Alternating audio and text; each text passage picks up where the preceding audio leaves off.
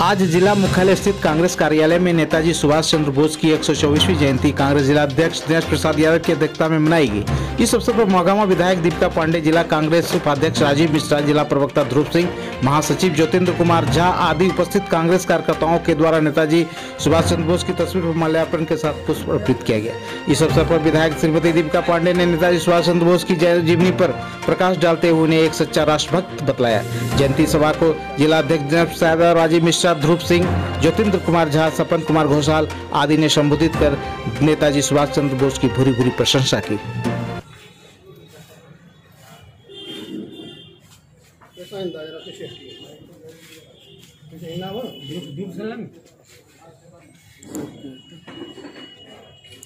आहे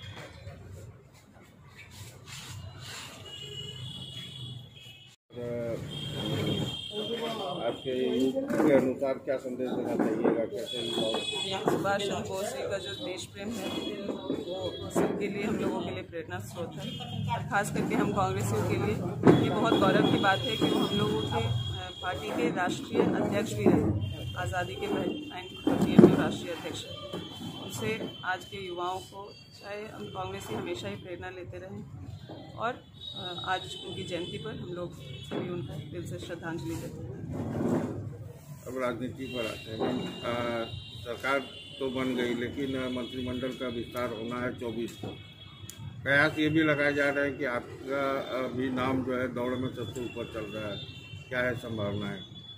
देखिए, मैंने पहले भी कहा है कि मंत्रालय को लेकर के कोई भी होड़ जो है, नहीं। पहली बार विधायक बनी कांग्रेस पार्टी ने संगठन में और साथ ही साथ चुनाव में टिकट दे करके हम कार्यकर्ताओं का बहुत मान सम्मान बढ़ाया। आगे हम लोगों की क्या भूमिका होगी, वो समय समय पर पार्टी तय करती रही है। पार्टी का जैसा निर्देश होगा उसके लिए हम लोग तो बयान आपके विधानसभा क्षेत्र में महा अम्बे कंपनी के जनरल मैनेजर पर गोली चली है और वो बुरी तरह से घायल है। आज सुबह आज सुबह गोली चली और गंभीर रूप से घायल है। उन्हें भागलपुर रेफर कर दिया गया एडमिनिस्ट्रेशन का क्या कहिएगा ये जो घटना हुई है बहुत ही निंदनीय है।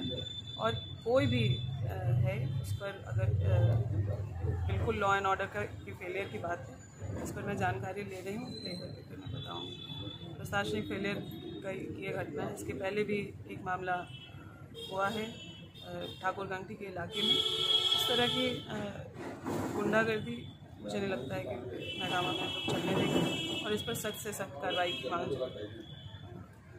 करते हैं और प्रशासन इस पर कार्रवाई करेगी। पथलगड़ी की घटना पर क्या कहिएगा? चाईबासा में जो सात लोगों की हत्या कर दी गई। ये जो हत्या हुई है, किसी नाम पर भी किया गया है अगर तो ये बिल्कुल बहुत गलत है और इसमें दोषियों को बख्शा नहीं जाएगा। यह इसके बारे में सरकार कटिबद्ध है और दोषियों को जल्द सजा पाई